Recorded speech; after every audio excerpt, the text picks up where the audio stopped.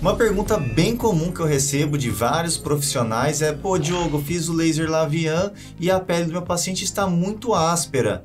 Claro, se tivesse estudado e aprendido junto comigo, provavelmente não teria essa pergunta que é muito básica, né? Então vamos lá, mas eu respondo para você mesmo assim.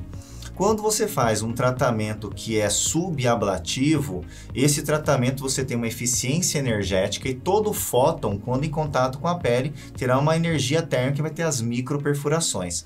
Se você conseguiu ter eficiência energética e fez as microperfurações, que é a coisa mais mágica que o laser fracionado de túnel entrega para o seu paciente, você terá agora um dano térmico e um reparo tecidual.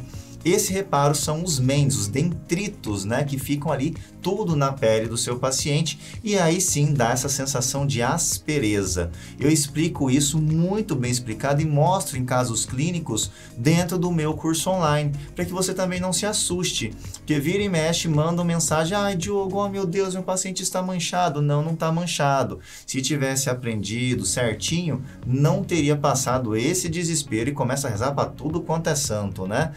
Então fica ligado que vai ter muito mais dicas e se você quiser realmente aprofundar, ainda dá tempo para esse fim de ano, aproveite e vem para dentro do curso online de laser de tudo.